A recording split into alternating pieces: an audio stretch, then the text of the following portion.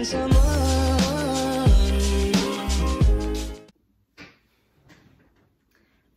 tout le monde, j'espère que vous allez bien. Aujourd'hui, on se retrouve pour une vidéo encore concernant les réseaux sociaux, principalement Instagram. Et oui, j'ai une vidéo que j'avais mis en ligne il y a de ça, je crois, deux ou trois ans. Et je vous avais parlé de comment j'avais réussi à avoir 10 000 abonnés sur Instagram. Depuis ce temps-là, les choses ont évolué, l'algorithme a changé et de mon côté, j'ai maintenant plus de 20 000 abonnés. Et je sais que ça vous intéresse vraiment beaucoup, euh, tout ce qui concerne Instagram, euh, les réseaux sociaux, l'algorithme et tout ça. Donc j'ai décidé de vous en parler encore une fois aujourd'hui puisque c'est un sujet qui revient souvent. Et je ne suis évidemment pas une professionnelle. Moi aussi, je struggle avec mon Instagram et ça monte pas assez vite à mon goût. Et c'est pas comme avant. Par contre, j'ai tout de même déniché quelques petits trucs qui peuvent vous aider à atteindre plus de gens sur la plateforme et à grossir votre réseau. Donc si ça vous intéresse, écoutez la vidéo.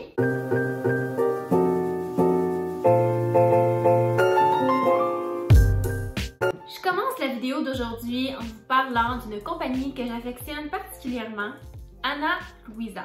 Si vous ne connaissez pas, c'est une compagnie de bijoux de New York qui font des bijoux de super bonne qualité à prix abordable. Donc ça commence dans les environs de 39 US pour se procurer des bijoux de qualité. Et là, je voulais vous montrer ce que moi je porte en ce moment. Donc j'ai les boucles d'oreilles ici, la boucle d'oreille juste là, que vous voyez dans le bas, ainsi que le petit, je vais vous montrer de plus près, le petit papillon donc, je vais vous faire un petit unboxing de quand j'ai reçu mes bijoux parce que je vais vous les montrer de plus près, montrer le petit package qui était vraiment cute.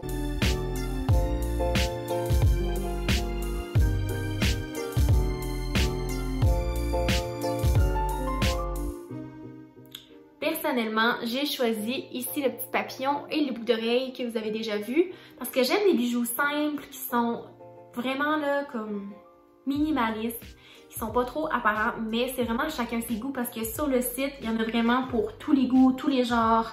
Et donc, si vous voulez gâter votre douce moitié, votre, euh, votre cousine, votre mère, votre soeur, vous-même, si vous voulez vous gâter, en fait, ben, il y en a de tous les styles. Ils n'ont pas juste des colliers et des boucles d'oreilles, ils ont aussi des bracelets, des bagues. Vraiment beaucoup, beaucoup de variétés sur le site. Et aussi, c'est même si la compagnie est basée à New York, c'est une livraison partout dans le monde, à l'international. Pour ma part, j'habite à Québec, puis euh, j'ai reçu le produit rapidement, donc j'étais full satisfaite. Alors, je vous laisse dans ma description un petit code promo de 10% qui vous permettra d'aller acheter les bijoux de votre choix sur le site. Si vous voulez, vous pouvez également vous abonner au Instagram de Anna.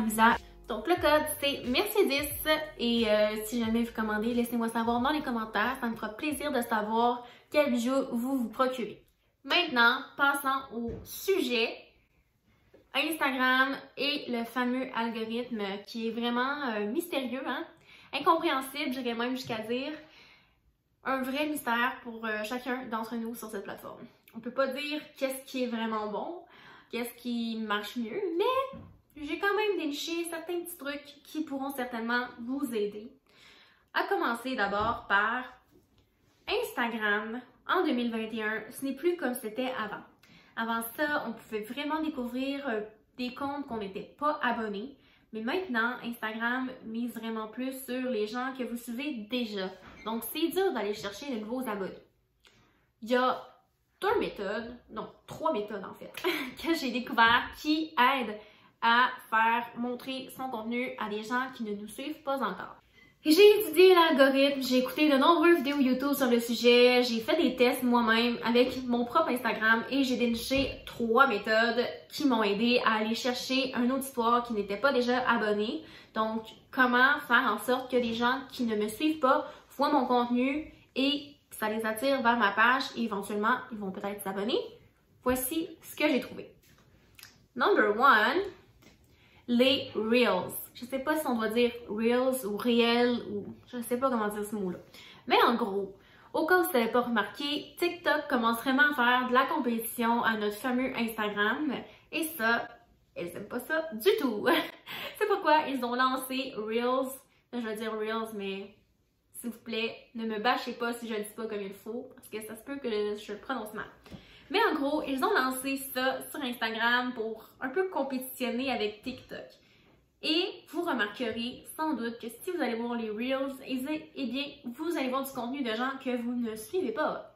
Donc, si vous postez des Reels sur votre Instagram, la même chose va se produire. Des gens qui ne vous suivent pas verront votre contenu et pourront cliquer sur votre nom, aller voir votre profil, peut-être même s'abonner à votre page. Par contre, il faut être quand même euh, persistant, si je peux dire, et pas juste mettre un Reels et attendre des miracles. C'est pas comme ça que ça fonctionne. Je sais que ça commence à faire beaucoup, là, gérer plein de réseaux sociaux, surtout si vous n'avez pas beaucoup de temps. Moi, euh, je fais quand même ça beaucoup d'heures par semaine, mes réseaux sociaux, donc j'ai du temps pour faire ça, mais je sais que c'est pas la réalité de tout le monde.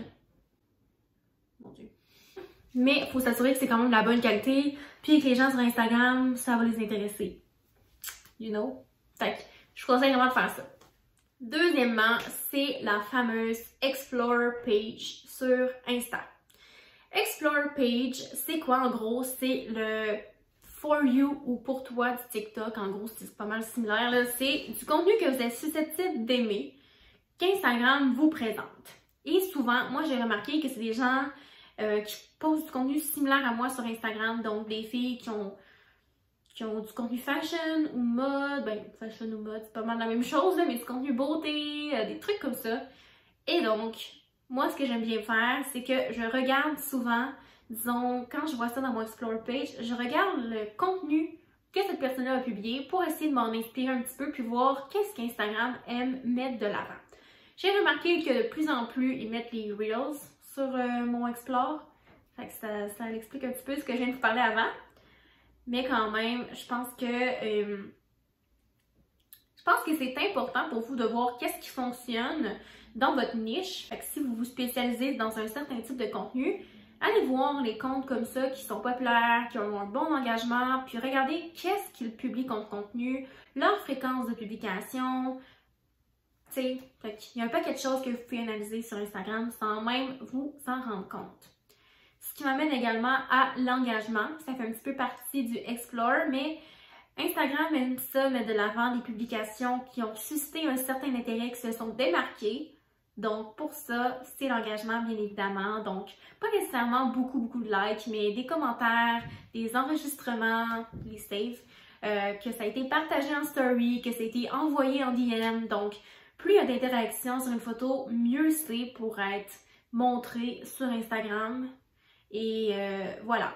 Donc pour ça, si jamais vous n'avez pas beaucoup de commentaires ou si vous voulez mettre ça de l'avant, ben contactez certains de vos amis, puis pourquoi pas vous entraider entre vous? J'ai déjà fait partie de groupes d'engagement comme ça, puis honnêtement, je le fais encore à ce jour parce que j'ai vraiment développé des liens d'amitié avec ces personnes-là. On s'entraide et on s'aide mutuellement. Ça se peut que ça ne donne pas des résultats exceptionnels, mais faites-le vraiment pour découvrir de nouvelles personnes, voir du nouveau contenu, puis vous n'avez rien à perdre en fait. Moi, je vous dis, go for it, self-taught. Last but not least, le troisième point, c'est les fameux hashtags. Wouh! Et là, vous allez me dire, tu m'apprends rien, Sarah, on sait déjà qu'il faut mettre des hashtags. Oui, peut-être. Mais moi, ça faisait des années que j'utilisais plus les hashtags parce que justement, je me disais, c'est passé date, ça fait, euh, ça fait bizarre, euh, je veux pas que le monde voit ma liste d'hashtags dans ma caption. Ce que je fais maintenant, d'accord, je me suis créé dans mes notes sur mon sel plein de hashtags différents, dépendamment du type de photo que je publie. Je vous explique. Si je mets du contenu fashion, je n'utiliserai pas les mêmes hashtags que si je mets une photo au gym, évidemment. Et là, j'ai remarqué que ça fait une énorme différence. Parce que plutôt que de toujours mettre les mêmes hashtags du genre Instagood, hashtag good day, hashtag photo of the day, tu sais, c'est comme pas très, c'est très très large comme euh, mot-clic et aussi les gens qui sont abonnés, il y en a tellement, tu sais, c'est des hashtags tellement populaires que les chances que votre photo se démarque sont beaucoup plus minimes que si vous allez vous spécialiser dans une niche. Donc, si par exemple vous êtes euh, quelqu'un qui adore le fitness, qui va au gym, qui mange santé, mettez des hashtags par rapport à ça, puis même spécialisez-les. Donc, je vous conseille de faire la même chose et d'avoir une liste de mots-clés que vous utilisez. Quand je dis mots-clés, c'est hashtag, mais une liste de hashtags qui fonctionne bien pour vous et faites des tests. Ça se peut qu'il y ait des hashtags qui vous donnent rien du tout. Ça se peut qu'il y ait des hashtags que, oh, wow, ça a vraiment marché celui-là. Puis des fois, il n'y a pas de recette magique. Ça arrive que je publie exactement les mêmes hashtags sur deux photos. J'ai une photo que je vais avoir comme 15, 20 000 de reach. Des fois, j'ai déjà eu même des 80 000 de reach et plus. Puis il y en a d'autres que je vais avoir comme 500 reach avec les hashtags. Mais bon, hein, on peut pas prédire. C'est vraiment en faisant les tests que vous allez remarquer. Et essayez de publier vraiment des heures où il y a des gens de connectés. Donc, trouvez votre moment de la journée qui est le mieux pour vous. J'ai remarqué, moi, au début, je publiais vers la fin de l'après-midi, mais j'ai remarqué que c'est mieux quand je publie le soir après souper dans les coins de 18h, 19h. J'ai remarqué que c'est encore mieux pour moi, de mon côté. Mais trouvez-vous ce qui est mieux. Pour savoir, vous pouvez aller voir dans vos statistiques et vous avez les heures où les gens sont connectés sur votre page. Ça, c'était vraiment mes trois méthodes pour déjouer l'algorithme. Mais il y a aussi des petits trucs par-ci par-là que je pense qu'ils peuvent vous aider. Donc, commencez par être régulier et publier beaucoup de contenu. Ce que je veux dire par là, c'est qu'il ne faut pas faire une photo une fois par mois, une fois deux semaines.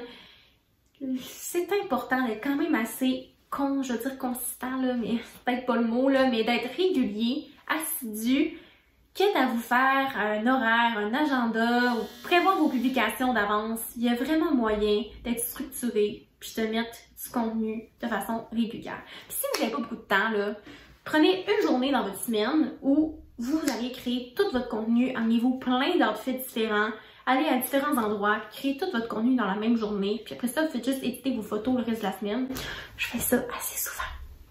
Donc voilà, c'était mes petits conseils, mes petits trucs de comment j'ai réussi à déjouer l'algorithme Instagram sur mon compte. Je dis déjouer. Bon, il me reste beaucoup de travail à faire, mais c'est des petits trucs qui m'ont quand même assez aidé à aller rejoindre plus de gens et à gagner quelques abonnés par, là. J'espère que ça vous a aidé. Et aussi, N'oubliez pas d'aller sur le site d'Analysa, regarder les magnifiques bijoux et d'utiliser mon code MERCIER10 pour avoir un rabais sur les produits. Sur ce, restez à l'affût parce que le mercredi, je publie mon vlog de la semaine et le dimanche soir, je publie ma vidéo Sit Talk, comme j'appelle. Donc, on se dit à la prochaine pour une toute nouvelle vidéo et abonnez-vous si ce n'est pas déjà fait. Bisous!